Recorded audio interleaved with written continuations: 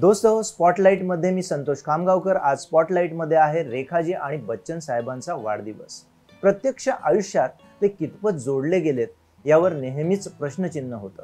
मात्र दहा आणि अकरा ऑक्टोबरला सलग जोडून येणारे त्यांचे वाढदिवस त्यांच्याबाबत चर्चा करण्याचं निमित्त ठरतात. अमिताभ बच्चन आणि रेखा भारतीय चित्रपटसृष्टीतील दोन दिग्गज आयकन. हे दोघे आजही त्यांच्या अभिनय प्रतिभेसाठीच नव्हे तर त्यांच्यातील ऑनस्क्रीन आणि ऑफस्क्रीन केमिस्ट्रीसाठी देखील ओळखले जातात. त्यांच्या चित्रपटांप्रमाणेच त्यांच्या कथित प्रेमकहाणीचे किस्से आजही तेवढेच ताजेतवाने आहेत. त्यामुळे चाहत्यांसाठी ते वर्षानुवर्षे चर्चेचा विषय ठरले आहेत. एकोणीसशे शहात्तर साली रिलीज झालेल्या दो अंजाने या चित्रपटानिमित्त रेखा आणि बच्चन साहेब एकत्र आले. तेव्हापासून ते अनेक अविस्मरणीय चित्रपटांमधून मोठ्या पडद्यावर दिसले. त्यांचा रुपेरी पडद्यावरचा एकत्रित वावर रसिकांना एवढा भावला की दोघांची ही जोडी बॉलिवूडमधली लोकप्रिय जोडी म्हणून प्रसिद्ध झाली. तोडीस तोड अभिनयाचं अफलातून रसायन सिनेरसिकांनी अनुभवलं.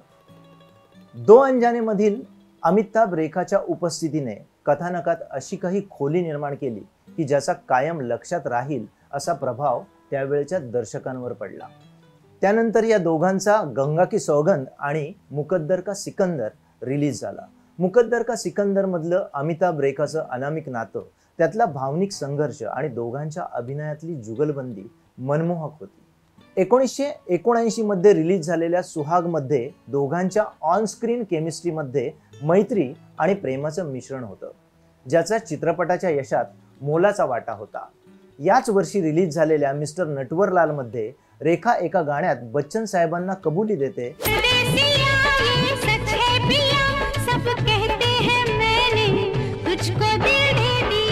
आणि त्याला उत्तरादाखल बच्चन साहेब म्हणतायत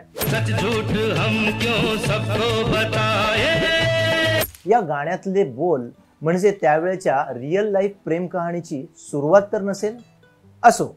पण त्यावेळेचा हलका फुलका आणि खेळकरपणाचा स्पर्श असलेला मिस्टर नटवरलाल सिने रसिकांना खूप आवडला. दोघांचा पुढचा राम बलराम हा चित्रपट प्रदर्शित होईपर्यंत रेखा अमिताभ जोडगोळी हमखास यशाचा फॉर्म्युला बनली होती. पुढे जाऊन विजय इन्कलाब सदा सुहागन लाल कप्तान अशा अनेक चित्रपटांतून ही जोडगोळी चमकली. परंतु एकोणीसशे एक्क्याऐंशीचा त्यांचा सिलसिला सर्वात उल्लेखनीय ठरला ज्यात त्यांच्या वास्तविक जीवनातल्या परिस्थितीचं प्रतिबिंब असलेला एक प्रेमाचा त्रिकोण चित्रित केला होता. हे चित्रण वास्तवाशी एवढं मिळतं जुळतं होतं की रेखा अमिताभच्या ऑफस्क्रीन रोमांसबद्दलच्या अफवांना बळ मिळालं. चित्रपटातली ही केमिस्ट्री वास्तविक जीवनात उतरली. त्यांच्या गुपचूप भेटी चोरलेल्या नजरा आणि अबोल भावनांचे गॉसिप्स दुथडी भरून वाहू लागले. पण हेही तेवढंच खरं आहे की माध्यमांना कुठलीच खात्रीशीर माहिती मिळाली नाही. त्यांच्या नात्यातली गुढता कायम राहिली. जसजशी वर्ष उलटली तसतसे अमिताभ आणि रेखाने त्यांच्या कथित नात्याबाबत मौन बाळगलं. माध्यमांना कायम कुतूहलाच्या अवस्थेत सोडलं.